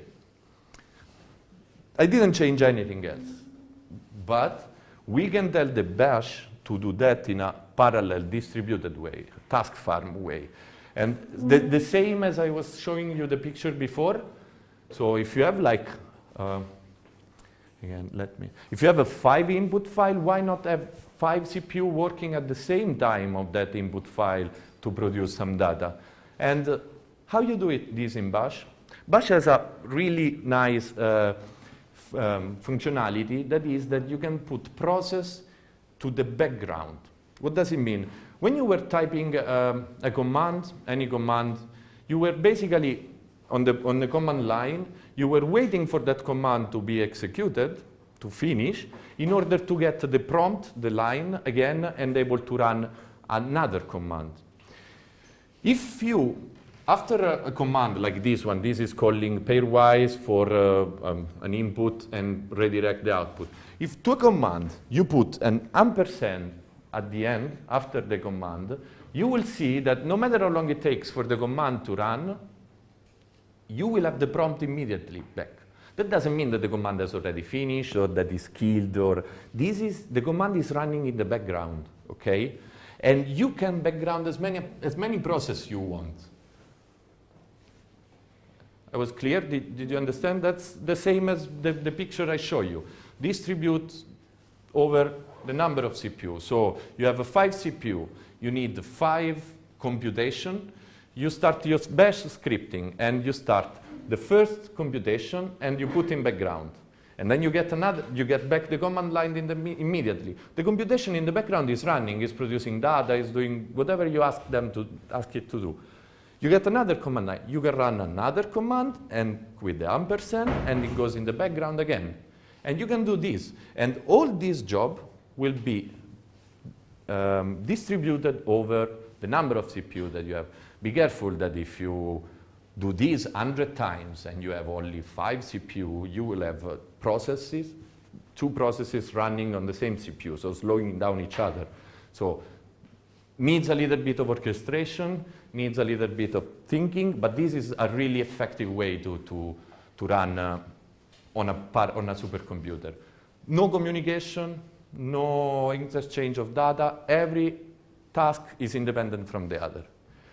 And here I did all these things that seem so complicated in these four lines. That all the rest of the script is the same, except that I have four input instead of one. And I use another construct of bash. Bash has a lot of construct, if, uh, uh, for loop, etc., uh, etc. Et I didn't go into this because it will take a day only of bash. But this is a for loop. And it basically loops for every uh, input number that I put in that dim uh, variable, so it was 1,000, 2,000, 3,000, 4,000, 5,000, it loop, and so for i in, it's really semantic, so for every i in the list of value, do give the value, the first value to pairwise, redirect to this output, and put in the back. When you put the process in the background, what, that, what happened? That it goes immediately to the second line. Again, the process is not killed, it's running in the background. And it goes in the second line. This done, go back to the for loop and get the second value that is submitted again and put it in the background. And do this for four times, for all the, the, the input you gave. What does it, what, what's happened? But if everything is in the background, this, the code is going to be here is, is going on. If the loop is over, it, it's going to go on. But you have still process running, okay? So you have to put this wait here, that it waits that all the process in the background are done before getting the next instruction. Why you need this? Because again, you are in a, you are behind this uh, batch scheduler. You have uh, an allocated node. So if you reach the end of your script, the scheduler will think that your job is over. It doesn't check if there are processes in the background running. There are many processes in the back all the time running it. So if you don't put the wait, this will spawn five, four, I don't remember how many, process running in the background. But when this is, is going through, it goes, it will tell you that there is no output, uh, and finish, and you will be over uh, with this process still running. So this is very important. You have to wait until the job is done. Um, Why don't you use time for, instead of Ah. Yeah, because uh, uh, uh, time is, is actually the best tool you can use. And on the serial one, uh, I could have used time. So if you run these two examples, the serial and the parallel one, it will show you that uh, if you use the largest input file that you use for bot is going to be the total time because you don't have sequential, okay? If I will do that with time, I can put time in front of a command, okay, here. Then I will get the time of only that command, not of the full five process running. With sleep, with this second, it's much less accurate. I, I told you it's not a bad, a good way, but you get the actual uh, whole time that passed from here to here, not the time that this executed. Okay? I don't know if I was clear, because that was to show that basically running five processes in the background in parallel, it will take the, the full calculation, it will take as the longest one. Okay? Because all the other will finish before and the longest one. They start all at the same time. The, the fastest finish, the long one takes takes one minute to run the 5000. After one minute, you're over. And that's the same duration as a, sequen- a sequential with only one input for 5000. But in this case, I ran five. Okay? That's really something. Is there a way, uh, with a simple script this one, to actually pick your processor? Uh, ah, good question. So usually this is something like uh, that the OS manage, like uh, thread affinity or thing. it, Or they'll have to revise it. Yeah, yeah, or yes, okay. Um, um, there, for sure there is. I'm pretty sure there is. I, uh, good question. I'm, I'm not sure. I should uh, probably Bash. It's not the. It's not. Uh, no, I don't think Bash has. Uh, it, uh, then maybe I'm not sure. I, I can check what for you. Okay. So okay, that, that, that's that's. I show you the the parallel, the ampersand and wait. Okay, and that, that is a kind of parallelism. That is a way of parallelize your application. And this, this one, task parallel. So you have many independent runs. It needs orchestration. So in my case, orchestration was the for loop and the wait. There are much more sophisticated tools to do this type of orchestration because in my case, it was also easy. I had five input file, five processors. Okay, so I distribute one each. What if you have a hundred uh, input file and only five processor. Okay, ah, you say easy. I do a round robin. Yeah, but you don't know which one. If you don't know which one is gonna end it first, you may end up with unbalanced load. That means that imagine one CPU get all the fastest run, okay, and one CPU get the extreme case, and one CPU get all the slowest. The first one, it will wait idle, doing nothing forever. There are tools to manage load balance and distribute. So first finish, the first process who finish get another one. There is a tool in Unix, very powerful, that is called Parallel. It's a GNU, that does this in automatically really beautiful way. You'd say parallel J4 and an input file and a list of parameter, and it automatically um, assign one parameter to each of the process that is running, and the first who finish get the second one. On Cartesius, we have another uh, in-house software called Stopos that does this also intranode. There's an, there are many tools, but the, the important thing is that you need an, orche- an orchestration.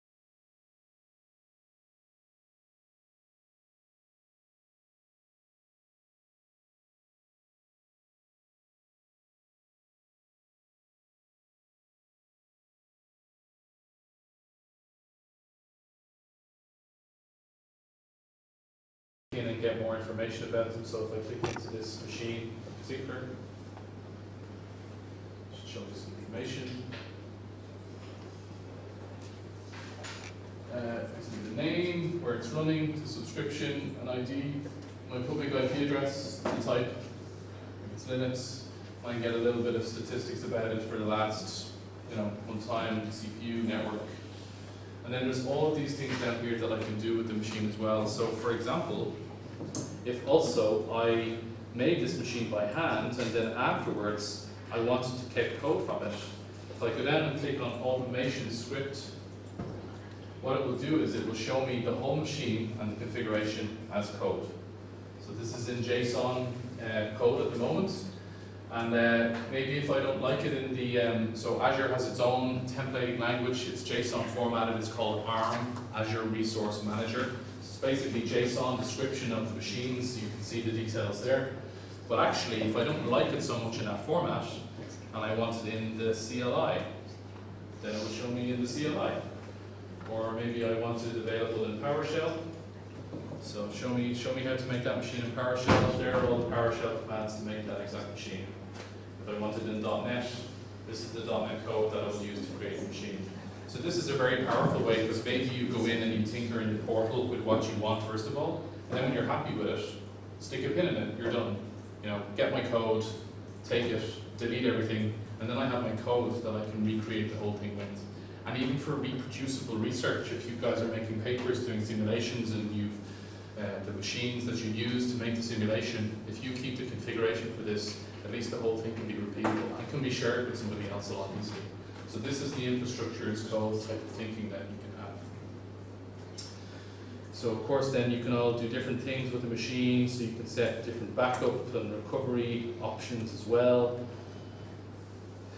So okay, we won't go into some of these maybe now. Uh, and different metrics and things like that that you can have. And so this is just kind of a little bit of a, little bit of a picture of what maybe Azure looks like. Um, and then on the command line, maybe you can interact in a different way. So let me see, I, I know we're coming to, to the end, so want, is there anything else in particular that I'd like to show you? And, or like to discuss? Okay, I might show you the cycle computing thing now just in a second. So basically when we talk about, um, and this, I'll make available these slides in the labs online if you want to choose it, but um, from moving from uh, Azure IaaS to sort of HPC IaaS, so if you're basically making HPC infrastructure as a service, or you want to use the HPC PaaS service or Azure Batch service, or if you want to use HPC software as a service, more like the Uber thing I just showed you, these are the different things that you could do. In HPC IaaS is where we have a lot of interest. People like to still have this control. They like to make their own clusters, their own machines. This is where we have maybe two different options, two different tools that are available. So one which I'll show you now, I'll do a little demo, is this CycleCloud tool. So this is maybe where you, uh, either as an IT organization, you can own it and give this panel to your users, or maybe you as a user have this to run and deploy your clusters. This is free, completely free, right? So uh, when you're, what you'll do in Azure is, um, and is you'll pay for what you consume, the compute, the storage, the networking. That's what you'll pay for. But a lot of the other services, some of them you'll pay for as well. In HPC, CycleCloud is free, Azure Batch is free, the Microsoft HPC pack is free. So when you're using those tools, you, you'll basically get them for free. So there's a lot of really uh, great capability available for free, and you're just consuming what you need. So I'll show you a demo of this in a second. The other one to mention is traditionally uh, Microsoft had a product, a Windows product called HPC Pack. A lot of financial institutions still do this. So basically is a queue management software and resource management software. So we have a bunch of Windows machines or Linux machines um, controlled by a Windows machine. You can have queues, you can um, have a nice little GUI to submit jobs. Um, so because this also is free, a lot of financial institutions pay a lot of money to IBM for their scheduling software, so they don't need to do this. Maybe it isn't quite as advanced as that, but this is still working free schedulable software that can schedule jobs, run jobs, and uh, so a lot of companies like to use that in particular, particularly if they're very Windows centric. Um, okay, let me jump into a little bit then about Okay, let me show you cycle. What it's like to create it. Okay. So this is actually something you can run on your laptop, if you like.